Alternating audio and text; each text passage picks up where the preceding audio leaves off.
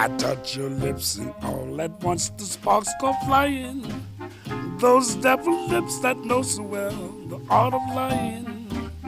And though I see the danger still, the flames grow higher. I know I must surrender to your kiss of fire. This process is really a cross between creation and destruction. I must go. Let it go too far, you've destroyed. Put it together in some terrific way you've created. It's kind of exciting. Without your kiss of fire, I can't resist you. My work was always very beautiful, nature based images, very serene. But now, with everything in the world that's going on, I felt it needed a little more edginess to it. So I started to play with gunpowder and burn everything. And it's an amazing process because it's all about chance. You can control just a little bit, and then the rest you work with. After you've burned and everything is all kind of chaotic, you restructure it. You put it together so you make another universe.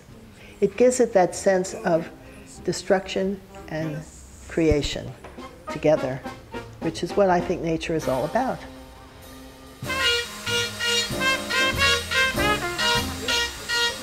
After I do the explosions, that's just the beginning.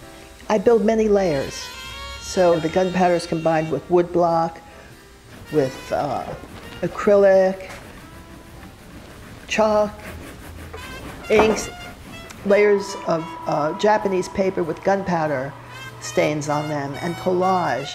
And I'll put them all together, and the many layers tell you something mysterious. You couldn't think of it on your own. It comes up as the process unfolds. I can't resist you. What good is in trying? The process is a narrative about diminishing boundaries. So there's no boundaries anymore. Everything kind of flows into everything else. Everything oscillates back and forth.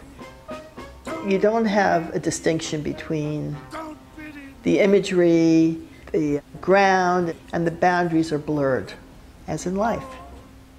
Love me tonight. Let the devil take money. You're an alchemist.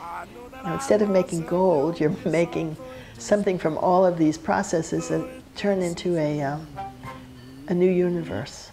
The kiss of fire.